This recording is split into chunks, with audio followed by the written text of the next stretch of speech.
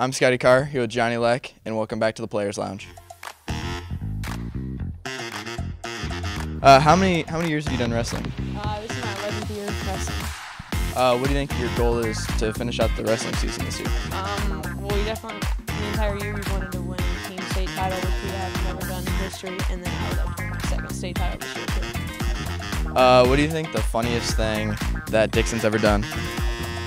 Oh gosh, um, it was pretty funny when he broke his, like he tore his ACL at practice a couple days ago. And who's the scariest coach this season? Um, it's probably also Dixon because he, just, he was in the military and he gets very loud and he's scary.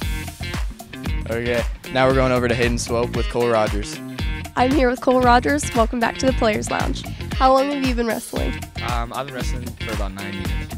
What's the biggest goal you have for the rest of the season and why? Um, my biggest goal is to place at the state tournament this year. Um, just coming up last year, not making the state. And when they're mad, who is the scariest coach? It's definitely got to be Dixon, probably because he was in the military and he can raise his voice absurdly high for no reason. That's what. What's the funniest thing Coach Safewright has done? Um, I remember at the Eureka tournament, he he put on a put on a do rag and a big old fake chain while we were winning by like how many points was it? Like what 150? Like like 150. So that's probably the funniest thing he's done. All right, this is Cole Rodgers. I'm Hayden Swope. Thanks for watching the Players Lounge.